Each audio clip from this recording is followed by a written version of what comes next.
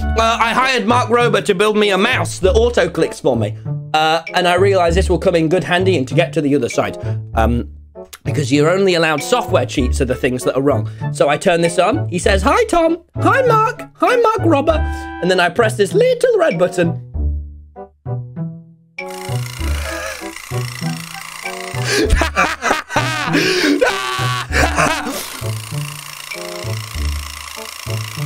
I have external, I have mouse drugs and real drugs. Anyhow, um, I also hired him for this. I might use this today. It depends if I'll get banned. I'm gonna beat all the PvPers. I'm gonna speed bridge. You're getting banned? Why would I do that? All right, I'm getting out the Mark Rober. What?